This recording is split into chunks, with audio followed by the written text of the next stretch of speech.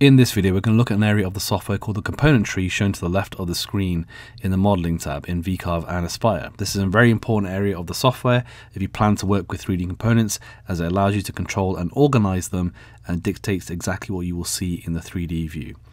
We'll call this result the uh, composite model and it will be used to calculate any 3D toolpaths and the component tree in VCarve and Aspire are almost the same, but we'll start out in VCarve and towards the end of the video we're going to look at the options in Aspire so you can see the difference uh, between the two.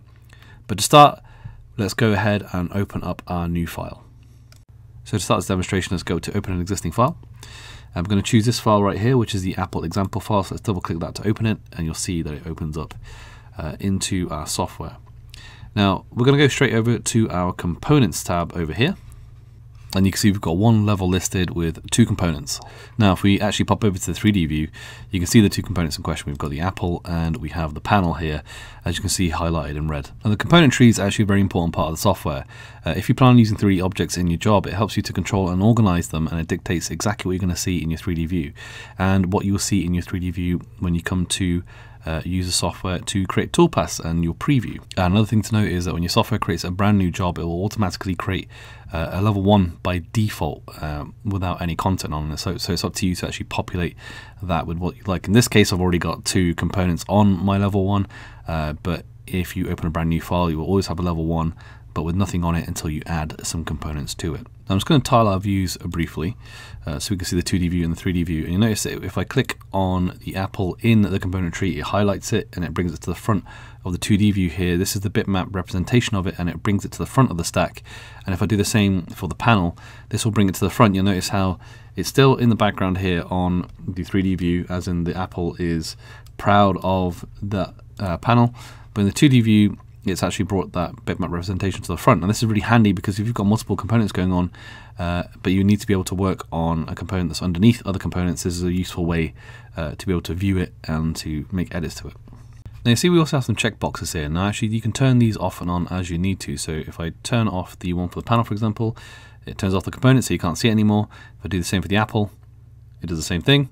You can turn them on again and the same applies for the level. So you can turn the level off entirely if you want to and you can do the same thing from the components. You can turn off all the components and turn them back on again if you want to. You can actually rename your level as well. So if you click it once with left mouse click, then slowly afterwards click it again, you'll be able to rename that if you want to. The same applies for your components. And you can also right mouse click and you can go to rename level or rename uh, the component as well. You notice we also have some uh, icons next to each of the sections, and these represent the combine mode they're currently in. If I click and drag my mouse over it, you'll see that the level is currently set to a combine mode of add, and it has a base uh, Z value of 0, or the base height in this case. Uh, the same applies for the apple, so we've got a combine mode of add, base Z is 0, total height 0.2474 inches. So you can see how useful it is. You can get some uh, good visual information about your components here just by hovering over it. And as for our panel, combine mode is merge, base is 0 and the total height is 0.3457 inches. Now you'll notice that the difference in uh, combine mode is visualized because you can see this is merge and this one is add and they are different icons for each of these. Now if we go up to the level we can right mouse click it and access some more options here. So we have a combine mode which is add, subtract, merge, lower, multiply. We have show which is to show only this level. Uh, we can show this level, we can show all but this level, and we can show all levels. We can hide this level, we can hide all levels. We can also select components on that level. We've got the clipping mode, and there is uh, a video on level effects which is related to this video, so you can learn more about that. Uh, so you can apply, update, or remove clipping, and the same applies for mirroring. You can do no mirroring, left to right, right to left, top to bottom, bottom to top, top left, top right, bottom left, bottom right quadrants. We can insert a new level, which will insert a new level in here. And then you can delete a level. Now, you can see it's grayed out at the moment. That's because there's only one level, and there has to be one level uh, at all times in the software when there's a new file. Now, if you added a new level in, you would be able to delete that new level. And if it had any components associated to that level, uh, the software would give you a warning and say, do you want to delete this level because the components will be deleted along with it. So uh, do keep that in mind, and then you can rename the level as well. Similarly, you have the right-click options uh, for the components. So if I right mouse click the apple here, we can go to combine mode. We've got add, subtract, merge, lower, multiply. The 2D preview option here allows you to move the uh, bitmap representation of the component in the 2D view to the front or the back.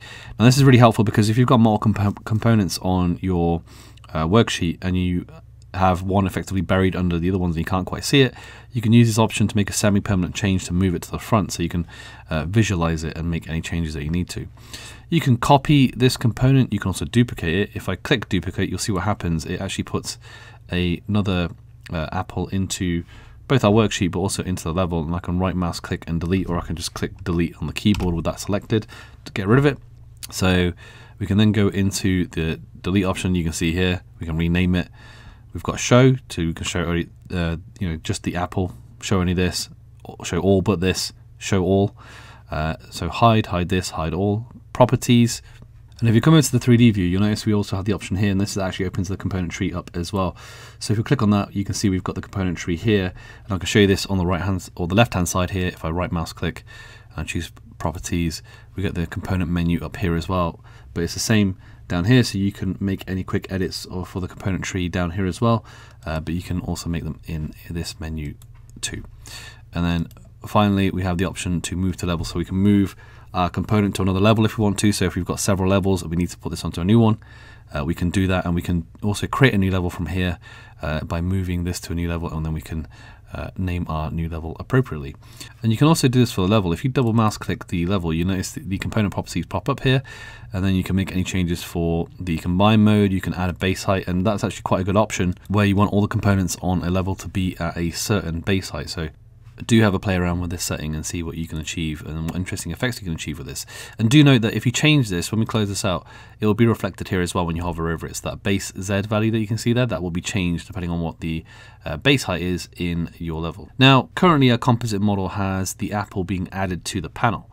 But what would happen if we wanted to add in a third component? Now, keep in mind this is VCarve, and we can only use pre-created components or clip art. If this was Aspire, then we could just use our own modeling tools to create some brand new components uh, if we would like to from scratch for almost any need.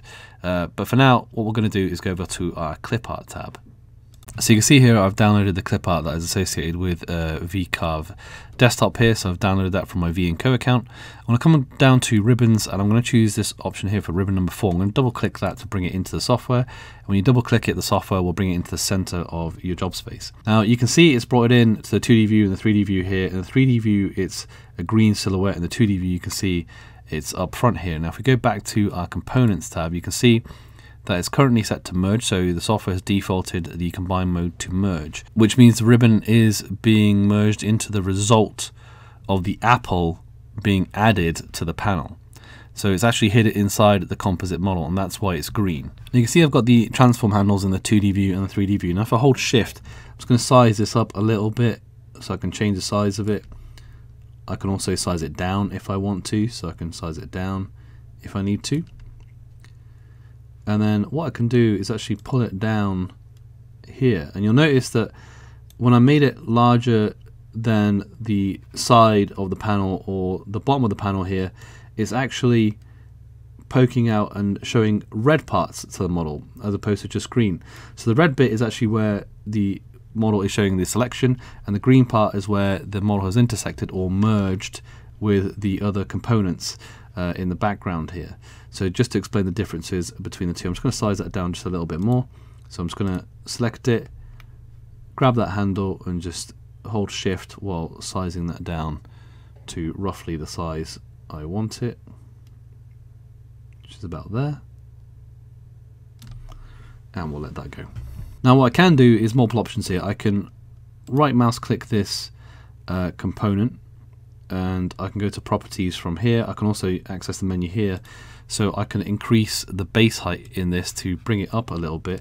I can also right mouse click and I can just change the view here and I can choose this option here to increase the base height so I can end, either end, click on it and enter a value or I can simply left mouse click and drag that up to where I want it to be uh, so it actually pokes through the top here of the panel so I can get a bit more definition from that ribbon and I can see it clearly fact, I'm just going to go a little bit further with the uh, base height. I'm just going to keep dragging that up. So left mouse click, drag it up just a little bit.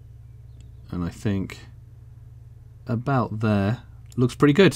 So you can see how powerful the 3D view is. So now you can quite intuitively just click, drag, and you can also enter a specific value if you want here as well if you want to be really precise with it uh, and you can see there's little bits area still merged so I'm just going to click onto the base height and drag it up just a little bit more and that is looking pretty good so I can close out of the properties form now and I can use a right mouse click in 3D view to move around the model to look at my composite model and be happy with the results. I can double check all these and I can use the view control at the top right here to move this around as well to make sure everything's looking as I want it to. So I'm just going to click on, uh, click on top and bring it back into the centralized view.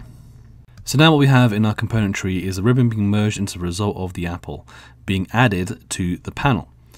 Now if I want to, I can go ahead and select the ribbon. I can turn it off and on. And if I wanted to, I could delete that if I wanted to, to get rid of it. Or I could simply just select it and click delete on the keyboard. But for now, let's have a look at a different instance. Uh, so we're going to come over to look at a different example. So again, we're going to go to open an existing file. We're going to go to our tutorials folder and we're going to choose the crest example. So let's double mouse click that to bring it in and what we're going to do is we're going to have a look at it in the 3D view and then we'll go over to the components uh, tree. So you can see here in the components tree that we have multiple levels with multiple components per level apart from level 1. And if I tile my views, you'll see we have the bitmap representation here on the 2D view of the components as well. Now you can see if I just turn off the levels that we can see the components associated with each level. And what we're actually going to do is turn off all of our components and we're going to have a look at level 1. So let's turn on level 1 and you'll see that it's an add uh, combine mode for level 1 but it's actually a merge shield. Now it currently isn't merging or anything so this could be set to add if you wanted it to uh, but let's turn that one off for now and let's turn on level 2. And it's on level 2 we've got uh, five different components here. And if I go to the three feathers and I right mouse click and I choose to show only this, we can see just our feathers here. And then if I turn on our crown, which is set to the merge mode as well, you'll notice what's happened is that the uh, the feathers look like they're coming in from behind the crown because the crown is slightly more proud of the feathers. But because we've got it set to merge mode, these feathers are actually merged with the crown, but they look as if they're coming from behind it. And if I do the same with the fleur de lis, you'll notice that it's actually merged with the crown. So it looks like it's in front of it, but it's actually merged it and there's a little bit standing proud there of the crown. And if I turn on the other smaller fleur de lis, you'll see the same thing there as well. And then if we come to level 3 and we turn off level 2, uh, if we show only just a banner, so go to show only this, you'll notice that currently it's very proud. So you can see how if we turn on our flourishes behind it, they look, because the ribbon is so proud, they look like they're tucked in behind, but they're actually set to merge. So they've merged in with the banner, but they look like they're tucked in behind it because the proud uh, height of that ribbon. So it gives it a really lovely effect and you can see how powerful it is to use the level effects and the combine modes to create some really interesting designs. Now I'll just turn these off for the moment. Now, much like the components within a level, the bottom level, if I turn that on and then turn on level number two, uh, the result of these merge components will be added to the top of whatever's happening in this level. And equally, when I turn on level 3, which happens to be a merge level, uh, it will merge in the results of whatever is happening in this level. Uh, now that could be an add component or a subtract component in there. It doesn't matter. It will just take the result of all that and merge it into the result of the level 2 being added to level 1. And that's how you get the result that you're seeing here of the composite model in the 3D view. Then if we actually select a component, we can actually drag it by left mouse clicking and dragging in that level. We can take it to another level, so we can drag it into another level. We can also drag a level, so we can actually just click a level and we can just drag it up above or below another level. And you'll see how that affects uh, the 3D view over here. So you can see here, instead of the fleur de lis being added to the shield and then the ribbon layer being merged in, we actually have the flourishes and the banner being merged into level 1 and then we have the crown and feathers being added on top of that because the level is an add level. So to correct that, what I can do is just click on level 3 and I can drag that back up to where it was and that will now fix that for us. So not only is it important to have the right combine mode set up within your level, but you're also going to want to do the same with your levels and have them in the proper order to give you the result that you would like to have in your 3D view. Now you may have noticed I haven't addressed these minus symbols here. Well, what I can do is I can click those to collapse our list of levels here. So if you have a particularly long component tree list, you can use this to organize it so you can collapse and expand the levels by using the minus or the uh, plus icons respectively. Now one last thing we should really cover is grouping components. Now we have the option inside of our component tree to select a few components or select a number of components and group them together so that any transform options you make to that group will apply to everything with inside that group. So for instance, if we wanted to group up all the stuff that's on level 2, what I can do is I can click this bottom component in the list, hold shift and click the top component in that list. And you notice what it's done is it's highlighted all the uh, components there and I can right mouse click, I can choose group and you'll notice now I've got a group uh, here under this level, so I can now actually just expand my view just a little bit so we can see that. And what I can now do is I can use the minus option here to collapse that group as well as the plus option here to expand it and you can see it's its own little group and if I select that group all the components within that group are selected on the 3D view here as well. I can just right mouse click and I can ungroup there as well. Now speaking of the minus and the plus again just important to note that if you're going to be collapsing your views like this it's important to have your levels named appropriately so you can make sure that everything is organized so you know what is on each particular level or indeed on each particular group now that covers the options in VCarve for the component tree, but let's have a look at Aspire. So we're just going to open this file back up, but we're going to take a look at what it looks like in Aspire. Okay, so now that we've got the file up in Aspire, you can see the composite model on the right-hand side and the bitmap representation on the left. And you can also see a plethora of modeling tools available to you in Aspire that you don't have in VCarve. So these really allow you to make some really uh, powerful and custom edits to your models, as well, as creating models from scratch in Aspire. So highly recommend uh, that you check these out if you are interested in Aspire because we do have a free trial of the software.